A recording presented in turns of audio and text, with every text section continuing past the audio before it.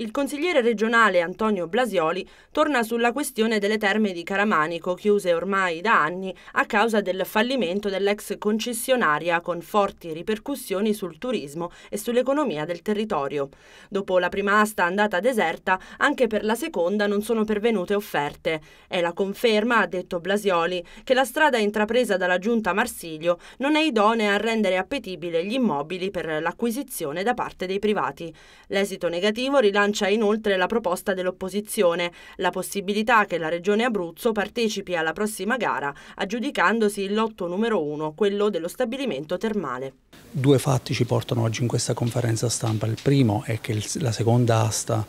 per i due lotti delle terme di Caramanico che sono sottoposti diciamo, a un fallimento è andata deserta.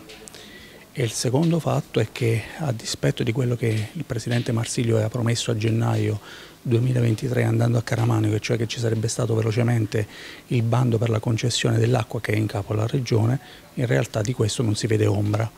Quindi due fatti che veramente ci costringono a tornare nuovamente su questo tema, chiedere anche la mobilitazione della cittadinanza ma anche dei paesi limitrofi per fare in modo che le terme tornino diciamo, a splendere come un tempo, perché sono un volano di turismo, di ricchezza per il territorio, anche per il settore della ristorazione e per il settore alberghiero. E ancora una volta rilanciamo la nostra proposta, cioè la Regione Abruzzo adesso, visto che ci sarà un terzo incanto con una riduzione del lotto, partecipi, si aggiudichi il lotto in modo che un unico soggetto, cioè la Regione Abruzzo, abbia suo, diciamo, nelle sue possibilità sia la gestione dell'acqua sia quella del cespite immobiliare. Ci troviamo di fronte a un dato di fatto che la, eh, il fallimento della stagione termale 2023 e sicuramente ci sono seri problemi per inaugurare quella 2024. Quindi a questo punto noi come opposizione non possiamo fare altro che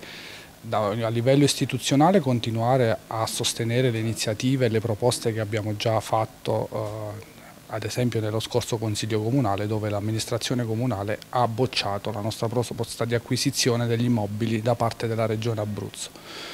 Eh, su un altro piano ovviamente eh, per mantenere accesa eh, la, eh, un faro su questa vertenza non possiamo fare altro che eh, mobilitare non solo i cittadini, i lavoratori ma soprattutto le associazioni di categoria i sindacati che hanno sposato questa proposta e che sicuramente eh, da quello che sentiamo, che avvertiamo, eh, dire, si uniranno a questa protesta, a questa mobilitazione per tenere appunto una, uno sguardo della, della regione su Caramanico Termo.